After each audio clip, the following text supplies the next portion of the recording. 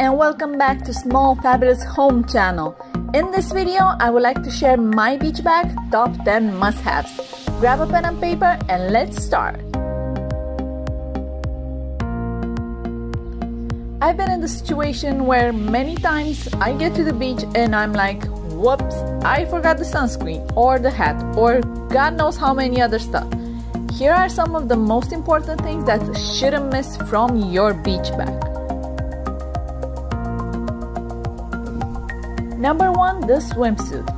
This used to be my beloved two-piece swimsuit. I love the tassel and the macrame details on the swimsuit. I've been wearing it like forever.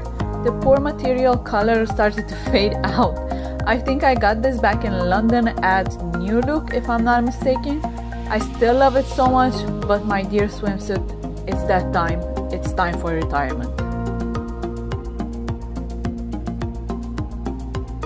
And hello new swimsuit. This crazy neon two-piece caught my eye at the store next to the beach with a bit of black here and there just to give it an extra touch. I tend to get two bottoms just to have a bit of fun and mix and match the styles. I mean, it's summer, it's fun.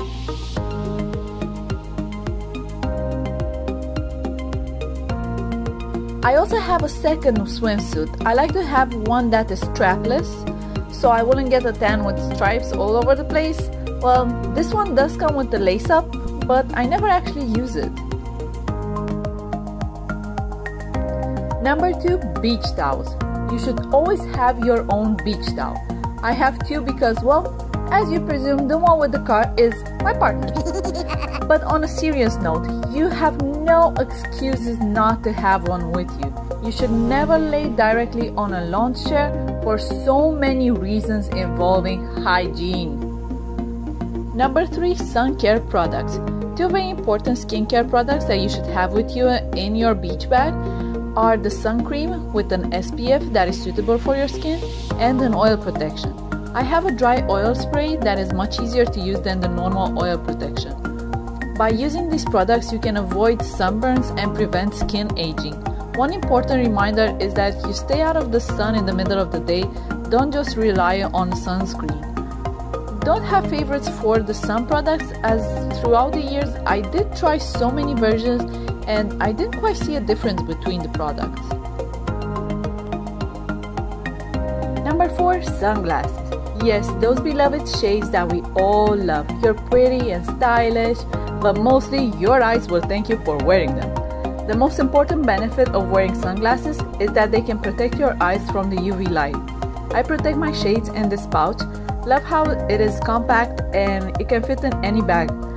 I just realized I am starting to have more and more stuff with this holographic style. Let me know what you think. Do you like it? Do you hate it? Leave your thoughts in the comments below.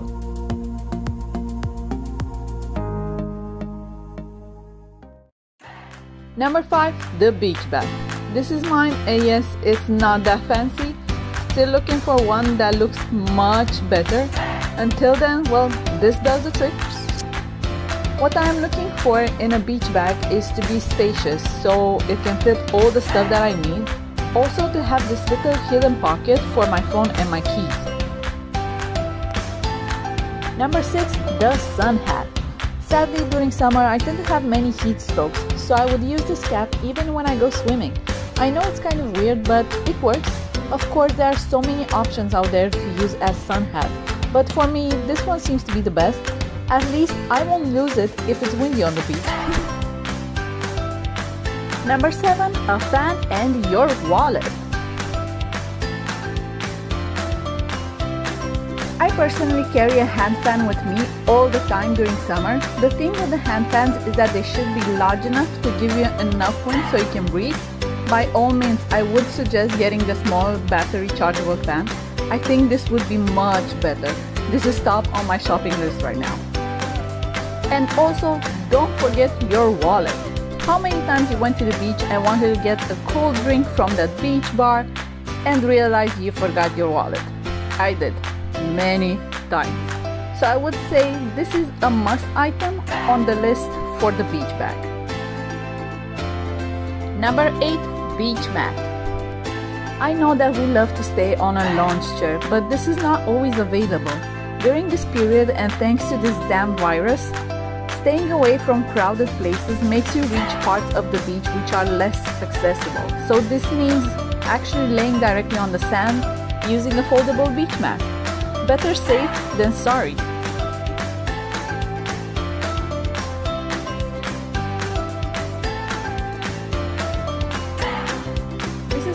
Take my beach bag with me, with all the stuff in it. Yes, there are only the basic stuff. I tend to take so much more stuff with me that are not really that needed. I like how easy it is to hang my hat on the side. I have everything I need in here, glasses, hand fan, wallet. But wait, what am I missing? Oh yeah, the slippers.